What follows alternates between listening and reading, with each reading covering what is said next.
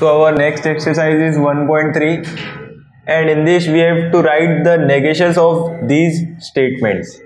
So first statement is Rome is in Italy.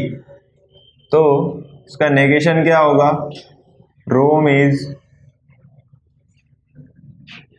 not in Italy सिर्फ़ जो भी बोला है उसका उल्टा स्टेटमेंट लिखना है मीन्स वो स्टेटमेंट का नेगेशन होगा five plus five equal to ten हमने बोला था स्टेटमेंट एक मैथमेटिकल फॉर्म में भी हो सकता है, जैसा कि यहाँ पे है five plus five is equal to ten so five plus five is not equal to ten ये इसका नेगेशन हो गया.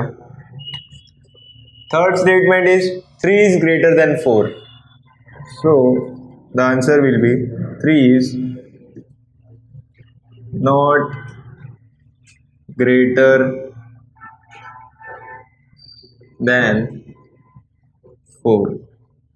3 is not greater than 4. In these statements, we have to write the truth values of these statements. So first statement is Jupiter is a planet and Mars is a star. So we will consider this as P and this as Q so the answer is the symbolic form of these statements is P and Q so the truth value of Jupiter is a planet. This statement is true. And Mars is a star. And Mars is a star. The statement is false. So the truth value of true and false is false. True and false is false. Because in AND conjunction, we have seen that if both are true, then true. Otherwise, false अगर दोनों statement true होते तो उसका truth value true आता नहीं तो वो false है। So the second statement will be two plus three is not equal to five इसको हम पी कंसिडर कर रहे हैं।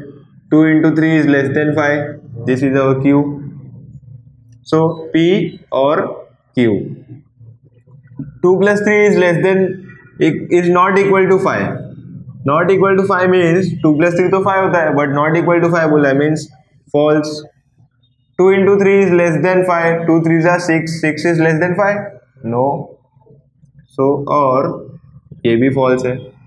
But we have seen this this conjunction का ट्रूथ टेबल भी हमने देखा था समरी में. If both are false then the truth value is false otherwise true अगर दोनों भी स्टेटमेंट फॉल्स है तो आंसर फॉल्स आएगा। अगर एक भी स्टेटमेंट ट्रू होता है फॉल्स और ट्रू या ट्रू और फॉल्स तो the statement will be true